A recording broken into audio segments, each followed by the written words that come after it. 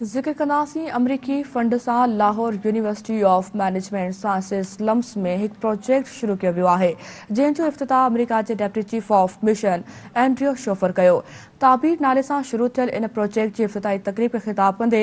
अमरीकी deputy chief of mission Andrew Schofer चयो त लम्स में ताबीर प्रोजेक्ट बाज़ाबा तौर ते शुरू कयो वियो आहे हू इहो प्रोजेक्ट शुरू करण ते फ़ख्र महसूस करे थो हुनजो त ताबीर माना ख़्वाब जी साबिया जेको हिकु शानदार लफ़्ज़ आहे ऐं हीउ मनसूबो सोलम से अमेरिका में पार्टनरशिप जो नतीजो है इन पार्टनरशिप तहत पंजाब की यूनिवर्सिटी में पंद्रह बिज़नेस एक्यूबिशन सेंटर्स के सपोर्ट किया वो अमरीकी डेप्टी चीफ ऑफ मिशन तो अमरीका पढ़े खाते ज़रिए इन क़दम लाइ पंज लख डॉलर फराम कर रो है जंहिं ज़रिए इनक्यूबेटेड लीडरशिप टीम लाइ तरबियत ए रहनुमाई शामिल है संदस चवणो तो अमरीका पाकिस्तान में इंसानी सरमाए में सीढ़पकारी ज़रिए पाकिस्तान में कारोबारी मानून जो नव नसल आने लाइ पुरज़म आहे हू था कन तरबियती मौक़िया इनक्यूबेशन सेंटर के अहिड़ो इल्मु हुनर ऐं सहकार फराहम कंदा जंहिंजो खेनि अहिड़ो माहौल ॾियण जी ज़रूरत आहे जिते जिद तख़लीकी सलाहियतूं ऐं कारोबार वधी सघे एंड्रियो शफ़र चयो त हिन पार्टनरशिप सां पंजाब ऐं हक़ीक़त में समूरे पाकिस्तान में मक़ामी कारोबारी माण्हुनि ऐं कम्यूनिटियुनि खे सिधे रीति फ़ाइदो थींदो